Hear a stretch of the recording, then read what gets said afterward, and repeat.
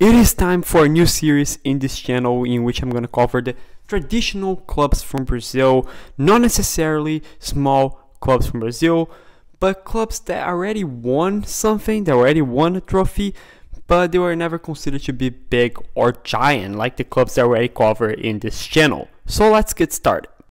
But I'm not gonna pick the team, the wheel is gonna pick the team, so let's see which club I'm gonna talk about, which traditional club from Brazil I'm gonna talk about, and it is Paysandu. So let's talk about. In terms of trophies, Paysandu won two second divisions already in 1991 and 2001.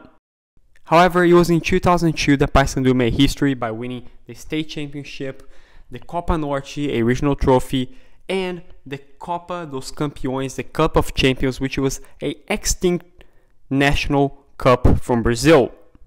This qualified Paysandu to play the 2003 Copa Libertadores, where they finished undefeated in the group stage.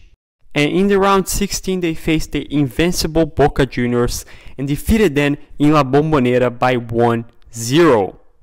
However, they ended up losing the second game at their home by 4 2, thus getting out of the Copa Libertadores. After that, things didn't go well for Paysandu as the club got relegated to the second division in 2005 and after that the club only played second and third division back and forth and as of today they are back to the second division once again.